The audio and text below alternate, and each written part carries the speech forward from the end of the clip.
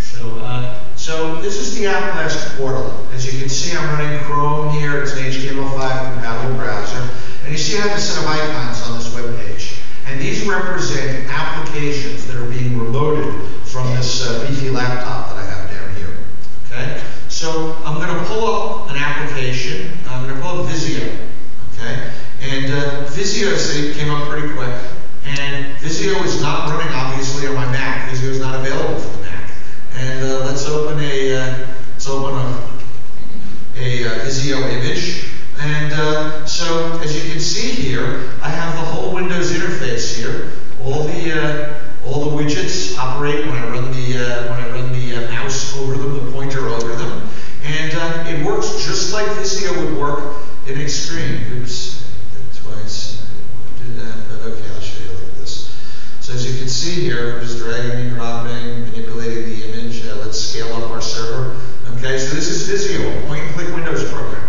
This technology is applicable to any Windows application as well as on other platforms. So now this is a standard point-and-click app that I've shown here for AppBlast. Okay, but the, the test of a graphics remoting technology is what do you do with more sophisticated interfaces? Like what do you do with live motion video? So what I think I'm going to do here now is I'm going to close this tab and I'm going to move back here and I'm going to go to some uh, live motion video.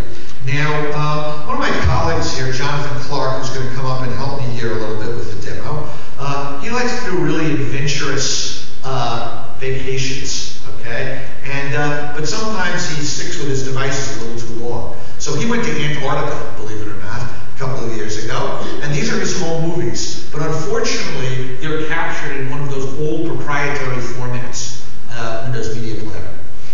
Okay, let me see. So there's a little right there. So- Okay, there we go. It was too big for the screen. Okay, so uh, so this is not this is not multimedia redirection. This format is not rendered directly in the browser. Okay, this is running Windows Media Player on that system down here, and we are application remoting its interface. Let me show you what I mean. Here's the typical Windows Media Player. I'm going to move the controls around. Okay, so here we go. And uh, so it just works by moving around. By the way, this is our project mascot. We've named him uh, Cobus. And uh, the uh, kind of cute guy. So this is remoting of video using Windows Media Player as an application. Very cute little guy, isn't he? Okay? Now this can deliver applications of all forms to endpoints of all forms. So let's switch our interface here now, and let's go over to Jonathan's uh, iPad.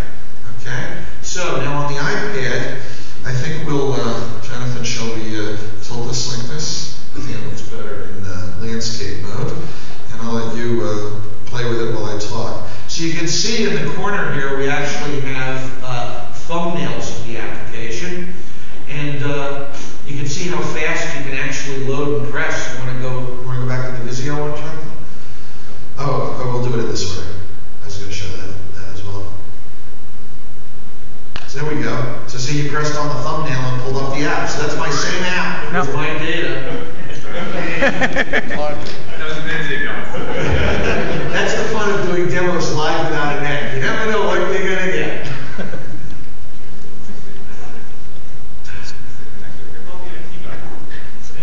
Must be plugging the uh, iPad, right? Okay, there we go. There we're back again. Okay, so let's go back to the uh, to what we're going to show. So let's go to the. yeah, maybe the connector is uh, coming out.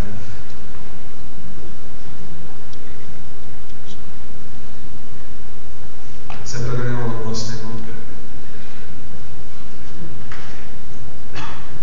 Okay. I don't move. So I'll, I'll, you want to just hold it and I'll do the controls? So, what I was going to show here is, so you can see we have a bunch of icons for iPad, for Here. I'm going to pull up another app that clearly does not run on an iPad, Adobe Photoshop. So I pressed on the icon, this is being served up by AppBlast. So let's pull up a, uh, let's open a file here.